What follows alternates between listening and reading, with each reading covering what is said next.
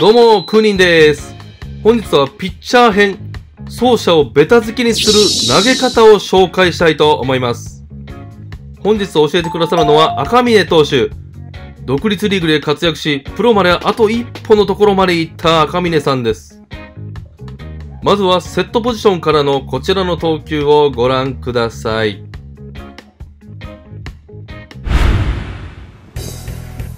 さあここから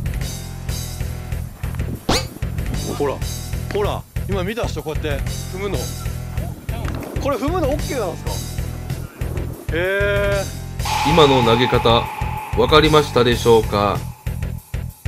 赤嶺投手の軸足に注目。ここで、軸足で足踏みをするような仕草。これがあることで走者は牽制と惑わされます。うまいうまい。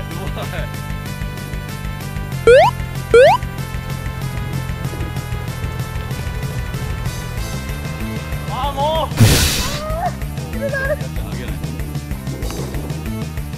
一回買って一回買って後ろや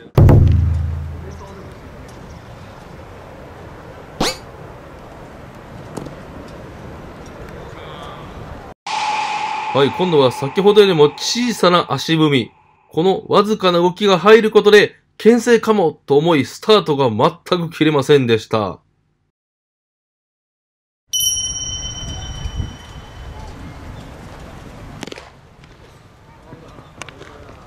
とにかくこの投げ方されると、スタートがめちゃめちゃ切りづらい。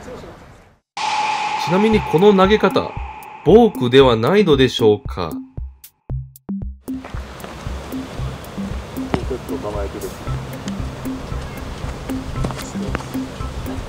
これってセーフだったんですか？これはセーフセーフです。セーフでした。何も言われなかったんですか？みんなやってましたね。プロのルールでやるんで牽制も違うじゃないですか。はい。なのでそれは OK でしたね。へえボークっすかね。ボークかどうかわかんないんでということで、軟式野球連盟の審判さんに聞いてみました。すると、このような回答をいただきました。結論としては、ボークにはなりません。ただし、首以外が動いた場合は、すべて投球動作とみなされるため、この軸足の使い方で牽制を行った場合は、ボークとなるそうです。ただ、別の審判さんにも確認すると、野球規則のボークに関する記述で、ボークというのはそもそも投手が走者を意図的に騙そうとするのを防ぐためにあるという記述があり、この精神からすると、審判によってはボークを取る場合もあるそうです。うーん、なかなか難しいですね。この時にこういうピッチャーいるじゃないですか。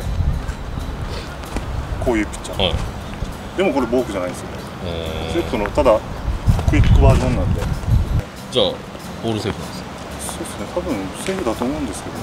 でもこれがもしボークじゃないとするならすごく技術がいりそうな感じですけどね。逆にちょっと球威が落ちそうな。そうですよね。え？9位落ちますかね？なんかここを気にしちゃいませんかね？軸足ですしみたい逆にバンって力が入ってなあそうなんですか自分は好きですけどね。一石二鳥ですね。ランナー戻るし。他にもいらっしゃるんですか？こういう感じの投球される方は？いや意識したことないですね。多分ピッチャー個人個人で意識してる人はもしかしたらいたかもしれないです。以上、走者を置いた場合にランナーをベタ付きにし、力が増す投げ方の紹介でした。赤嶺投手、ありがとうございました。仲間とあの場所めがけ朝眠い目をこすって出かける。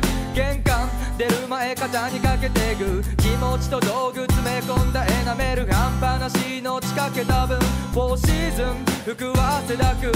気持ちは負けたくないから駆け出す。あの土の上で輝く。